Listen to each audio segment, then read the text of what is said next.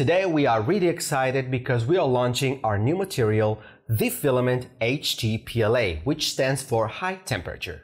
My name is Alessio and welcome to Spectrum Filaments. Like I said, I'm really excited to show you this new filament. HTPLA, which stands for high temperature, of course. We have some tests to do, so let's get right into the video. We're going to test this amazing filament in few ways. First of all, we're going to test the filament in a stress environment, such as an oven with other filaments to compare the melting threshold.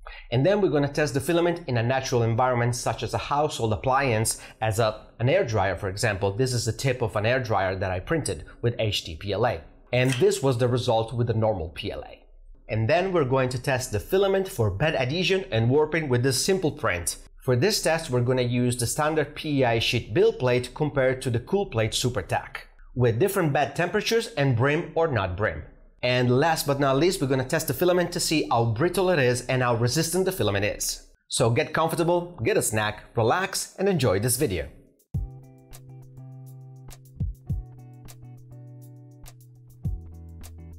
And here we are in the oven with our five filaments, PLA, PETG, ABS, PC and of course HTPLA. At 50 degrees Celsius we have PLA going down, followed by PETG at 75 degrees and then ABS at 95 degrees, followed by PC at a whooping 140 degrees. But still standing and holding its shape, we have our new HTPLA.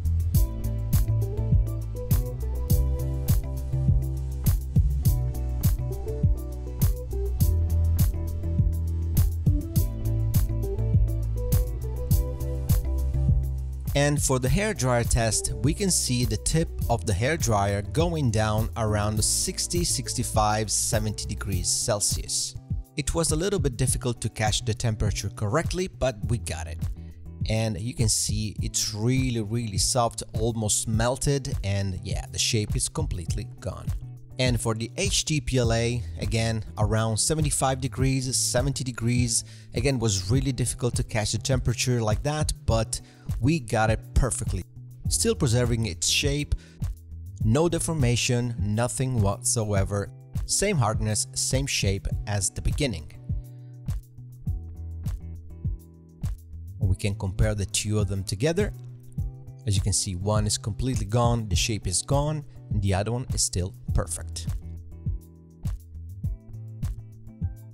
And still very usable for its purpose.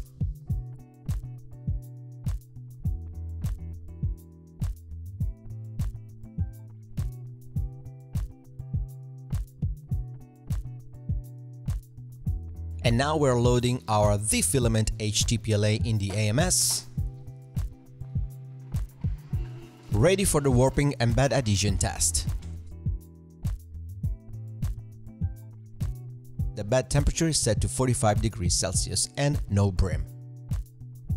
Even this one it looks like it's gonna hold up, but after a while you will see that the front is warping.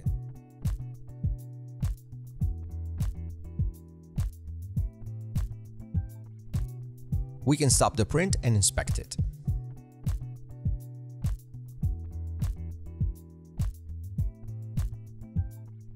We have a really bad warping at the front and just a tiny bit in the back. Next up we have still the same PEI sheet, bed temperature at 45 degrees Celsius and this time we're using a brim. Fingers crossed this time seems okay. Even halfway through it seems like there is no warping.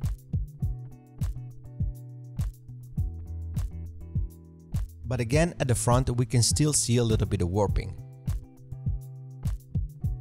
Inspecting the print, we can see the front warping, as well as the little bit at the corner in the back.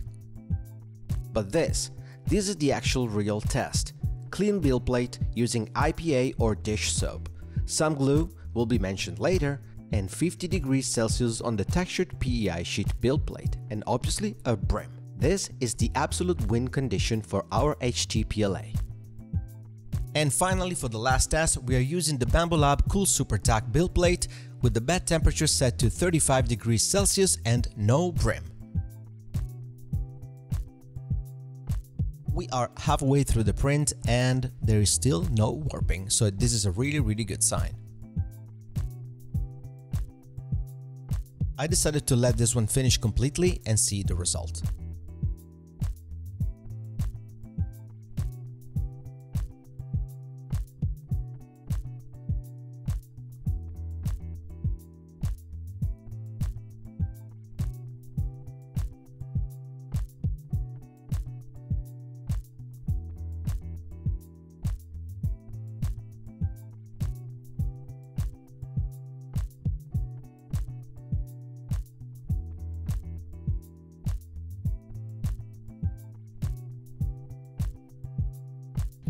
And for the next test, I printed two little bars uh, with the same settings, one of course in normal PLA and the other one in HTPLA. And I was trying to break them and see which one was gonna break first. And the crack was from the actual PLA, the orange one. In fact, it's super brittle and it cracks badly. And then bending them more and more, we can see the normal PLA is completely destroyed. All the layers came apart and there is nothing to use here. Well, and the noise says it all.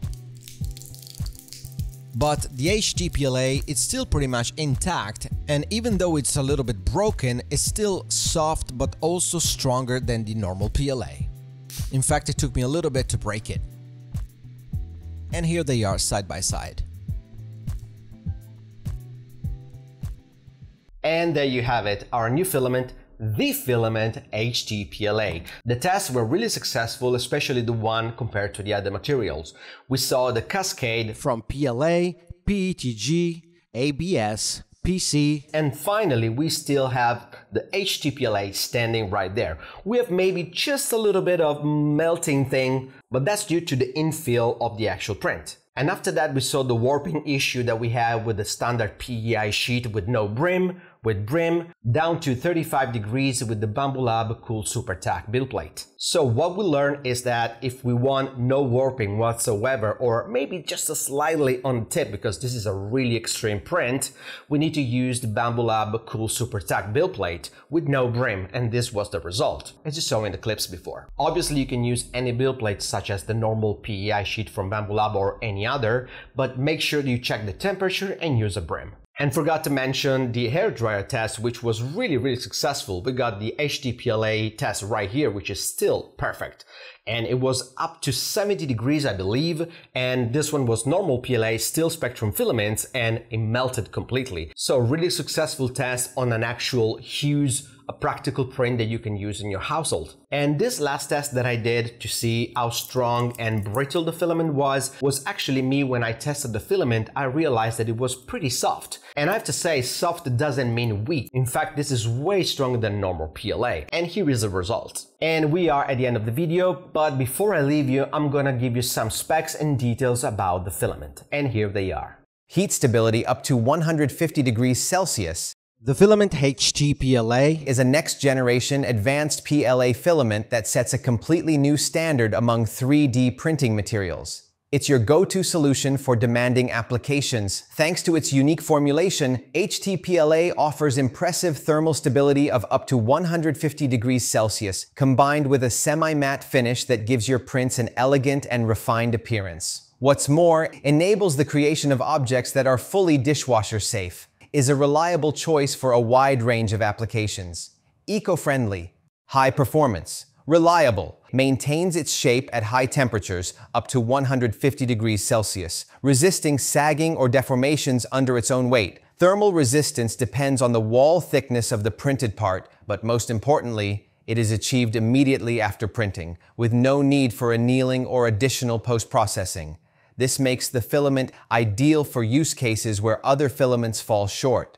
Perfect for creating durable end-use parts, device housings, brackets, mounting components, organizational accessories, and everyday items that demand high thermal and mechanical performance while designed for strength and functionality, is also fully compostable and made from renewable resources, making it a conscious and environmentally friendly choice, when standard PLA just isn't enough.